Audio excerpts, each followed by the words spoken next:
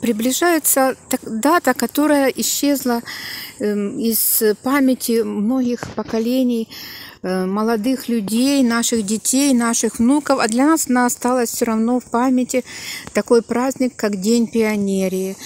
Вот это моя школа. Здесь я поступала в пионеры в свое время. Я не хочу сказать, что это была плохая идеология. Она не была сильно политизирована, не была такой...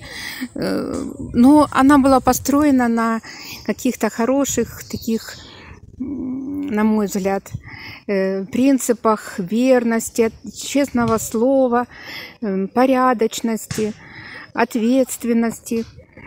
Ну да, мы носили галстуки, которые считались кусочком красного знамени.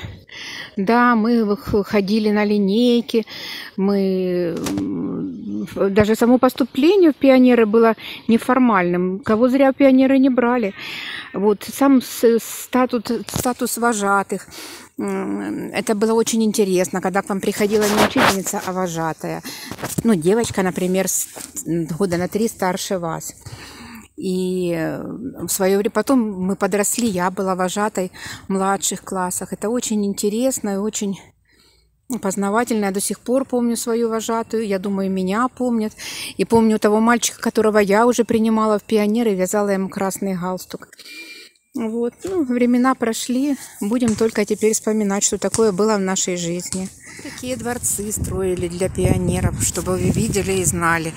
Коммунисты хотели, чтобы пионеры выросли умными, знающими, творчески развитыми людьми. Посмотрите, сейчас это Харьковский дворец детское юнацкое, юношеское творчество, творчество, детского юношеского творчества.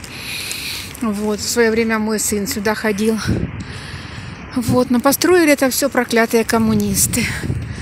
Вот это в верхушечке в этой находилась обсерватория, чтобы дети знали, как расположены звезды. Там были, стоял телескоп, в который можно было посмотреть. Здесь проходили праздники всяческие, праздники Нового года. Как-то на елку я сюда приводила детей. Супер.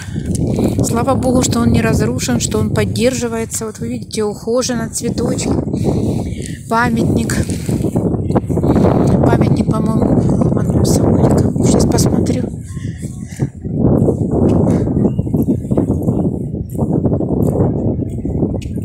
Да, Михаил Васильевич.